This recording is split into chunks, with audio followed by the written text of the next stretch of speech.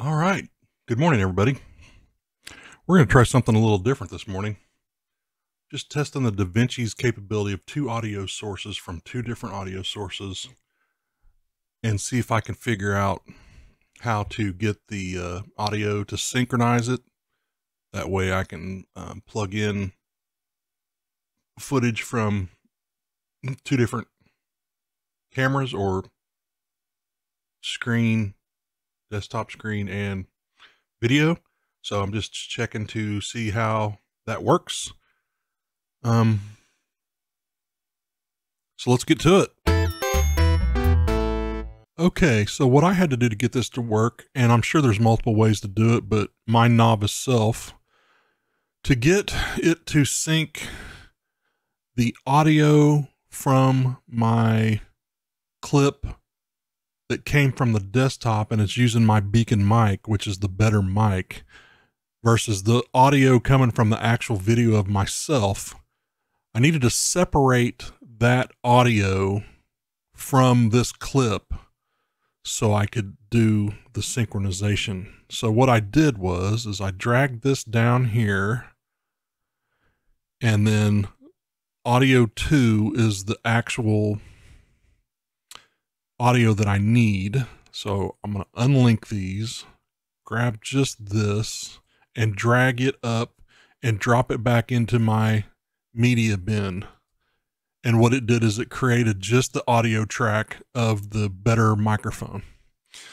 So then I get rid of all this off my timeline. Then what you do is you highlight the audio and then you also highlight, well, I have to hold the control key down to do this, highlight the, the uh, video that I want to synchronize that with. Then you right click and you choose audio sync, auto sync audio.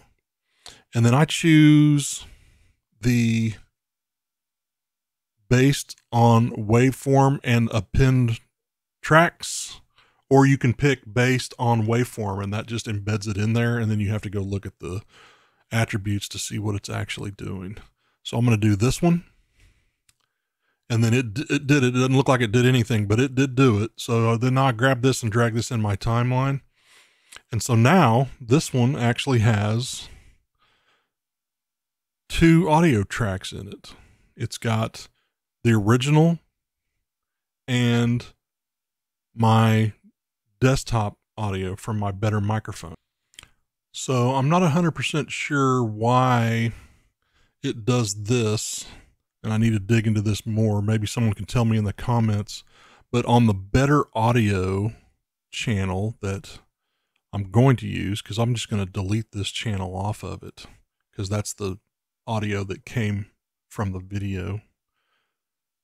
If you right click on this and look at the clip attributes, it does show the link channels one and two, but that's not the right audio. That's actually the audio from my desktop from this original where I pulled this out. So I'm assuming that when I pulled this audio out, it pulls both tracks.